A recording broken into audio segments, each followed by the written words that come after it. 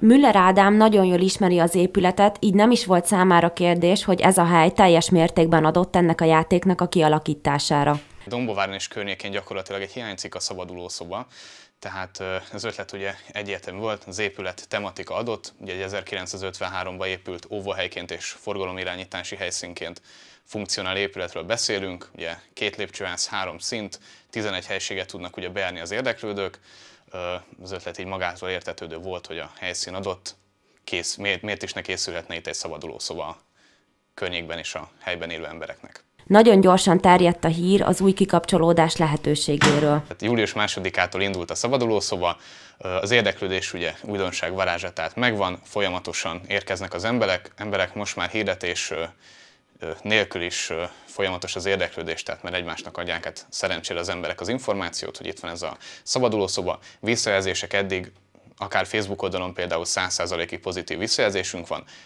mindenki nagyon, mindenkinek nagyon tetszik a szabadulószoba és az ötlet kivitelezéssel mindennel együtt.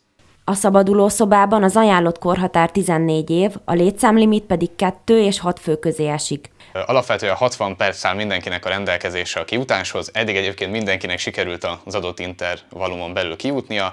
Az eddigi rekord az 29,5 perc a kiutásba. Itt viszont ugye fontos kiemelni, hogy egy kétfős, illetve egy hatfős csapat között természetesen lesz differenciál, hiszen több szem többet lát, többféle gondolkodásmódú ember jön, természetes, hogy esetleg rövidebb időn belül fog kijutni, akik hatan vannak, mint pedig akik mondjuk párban. Az élmény még nagyon új, de a fiatal Müller Ádám szeretné továbbfejleszteni a bunker szabaduló szobát a közeljövőben.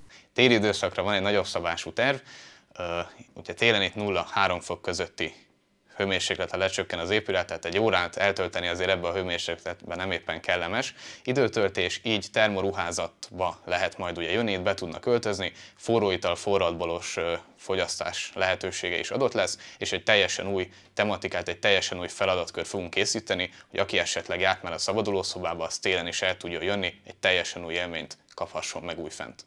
Jelenleg egy szabaduló játék van, amin keresztül mind a 11 helyiséget végig kell járni egy feladatkör alatt. Különféle interaktív feladatokat oldanak meg a szórakozni vágyók, videó megtekintések és logikai feladatok várnak azokra, akik nem mindennapi módon szeretnének egy jó programban részt venni.